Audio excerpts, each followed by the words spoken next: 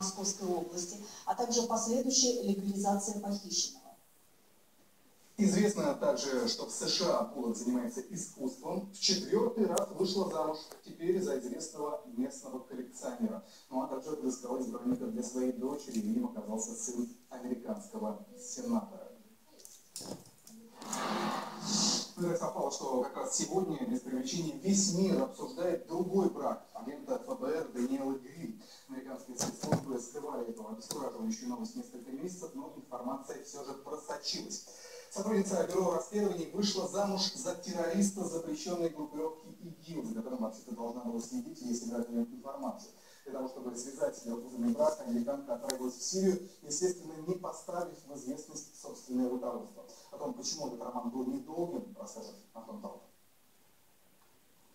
Конечно, сердцу не прикажешь, но чтобы сотрудница ФБР бросила все и уехала в Сирию, а там вышла замуж за террориста, такое может произойти, пожалуй, только в Голливуде. В США эту историю как могли замалчивали, но правда стала известна. Теперь все внимание приковано к бывшей переводчице бюро расследований Даниэле Грин. Она тщательно скрывается от телекамер, не дает интервью. Известно ли, что Грин уже провела в американской тюрьме два года за любовную связь с боевиком. Сейчас на свободе. Все зависит от умысла. Все зависит от степени вовлеченности этой дамы.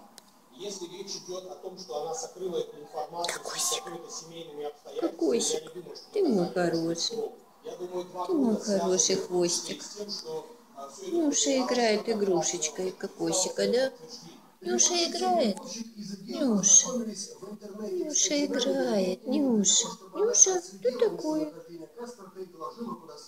Замысел агентов ФБР был прост. Они рассчитывали, что террорист попытается завербовать Грин, а она разоблачит его. Переводчица вступила в соответствующую группу в интернете, а Бумагик объявился. Даниэла Грин должна была получать от Кастера секретные сведения, но на деле, наоборот, сама ему сообщала тайную информацию. Таким образом, Касперу удалось соблазнить не женщину загадка. Поначалу переводчица общалась с Абу Маликом по скайпу с двух аккаунтов подконтрольных ФБР, затем создала еще один профиль личный. Грин, кстати, имела определенный уровень допуска и даже рассказала, что против Абу Малика золотой такой, повесила себе на ухо. Что-то.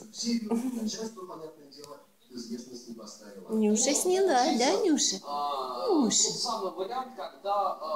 А, Мои дети такие. Вот так, вот так, вот так, вот так. Вот так, вот так. Детки мои, а, конфетки. играешь ты, но бывает, а, бывают дни, когда играют тобой. Вот это может быть оно и есть. Ты моя золотое дитё. то ли Развод случился на бытовой почве. В итоге, разочаровавшись в новом образе жизни, переводчица собрала чемоданы и вернулась на родину. США написала Котики мои. И рассказала о своем путешествии, к слову, в ИГИЛ, запрещенной национальной организации.